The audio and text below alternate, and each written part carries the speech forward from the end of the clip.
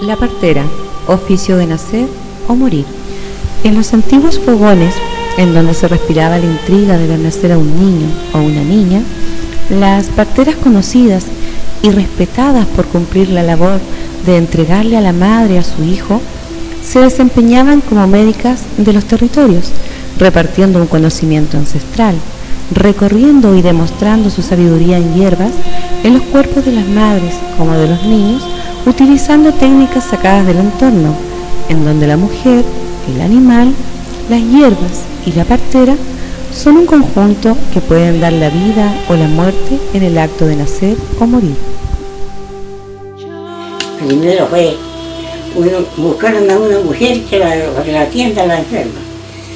Y entonces el hombre cuando fue a buscar a la otra mujer, pasó a buscar a mí que va mientras para que esté con ella. Y mientras tanto nació la guagua. Así que yo tuve que recogerlo, atenderlo, la guagua. Y cuando llegó él ya estaba la mujer en cama y, y la guagua también la atendía ella. Y después otra que atendí doña Flora Mamonte, y esa nació su chiquito muerto. Y entonces le dije yo que busquen un pollo, si no tenían un pollo que busquen una gallina. Nada dijeron ellos, ¿para qué cuando ese está muerto?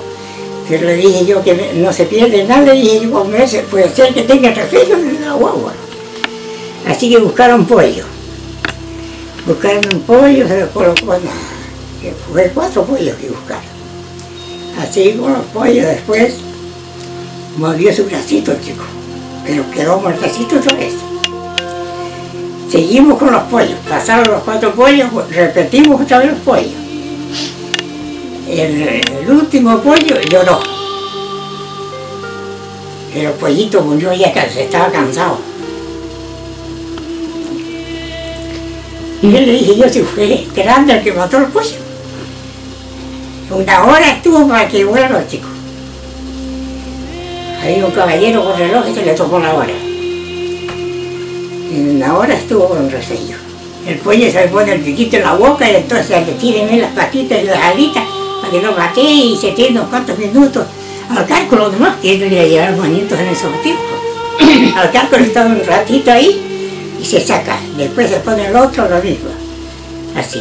Así cuando movió su bracito se dio nomás, se dio. Hasta que lloró. A la fecha vive, tiene un chico soltero. Y, y la mamá vive todavía.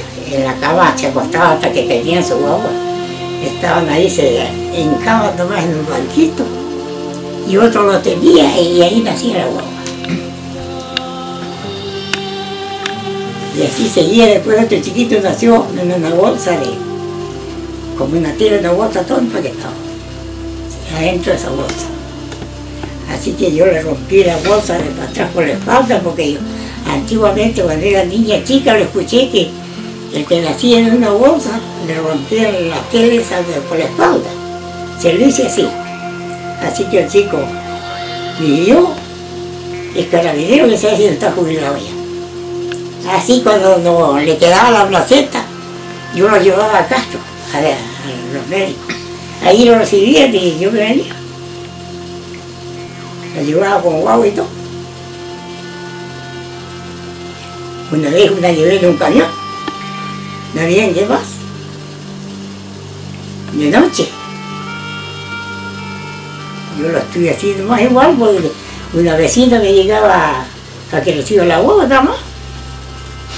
Yo tuve, y tuve nueve. Nueve hijos. ¿eh?